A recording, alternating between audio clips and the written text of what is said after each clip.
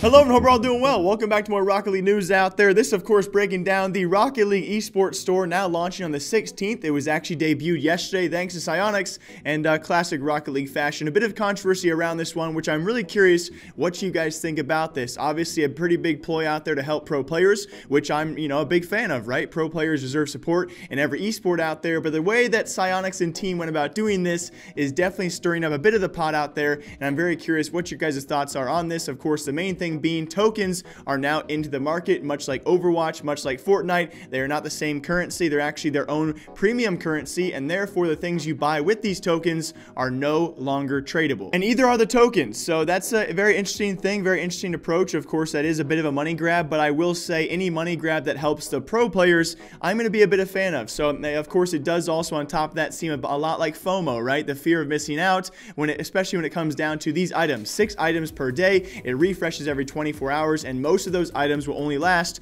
24 hours. Now, some they did say they didn't specify how many or uh, which of them will actually will each and every week. Maybe they will as the weeks go on. Some of those items will actually last a full 48 hours, but it's definitely going to be a lot of peer pressure out there to buy the items. If you even slightly think you want it, you're going to have to buy it before it's it's just totally gone. So that is a very interesting aspect, right? I, I think it's, uh, you know, it avoids a lot of backlash because like I said before, you're at least feeding the pro players a little bit. Although I will say I feel very bad for the few teams out there. I believe five teams. 11 of the 16 have actually been placed in the store for now. I think in coming weeks, we hopefully will have a few teams added, but I cannot confirm that whatsoever. A lot of talk out there as to why PSG as well as FCB or Barca. There was a comment on last video that got mad at me for saying FCB, so I'll be calling them Barca or Barcelona from now on. I was actually a bit surprised they were not in there, mainly because uh, PSG's been around for quite some time. You know, Barca makes a little bit more sense. I cannot tell you guys exactly why that uh, the contractually they cannot actually get into the store itself. I can tell you though, for one thing, I do expect Barca to be in the store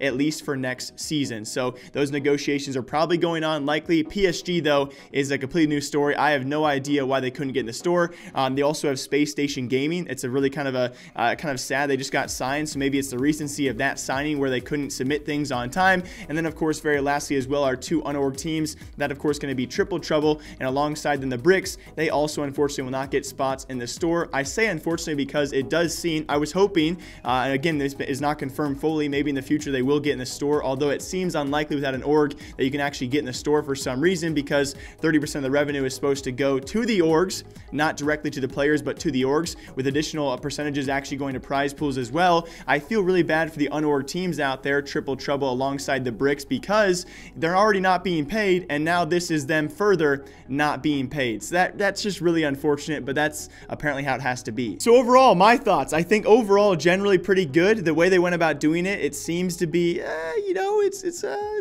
I can't really judge it too much because a lot of other games out there do the same tactics of bringing in a new currency, a new premium currency, which is not tradable. You actually have to buy the currency as well. It's 99 cents per 100 tokens, and of course, you get token deals as you pay for more. I'm more so curious what you guys think about this. It seems like you're gonna get pretty hyped up on the on the items. You know, it depends on if you can actually wait out for items. If you can't wait though, you're gonna be buying a lot of different items. So, you know, I think overall it's a good move. Definitely an interesting move out there, and one that was gonna be probably made in the future no matter what. Uh, but yeah, what do you guys think? As always, my name is Jake. I will see you back here Monday, guys, to break down, of course, week two of uh, RLCS for NA as well as EU. So, hope you guys all enjoy. Until next time, take care, and on the 16th, spend your money.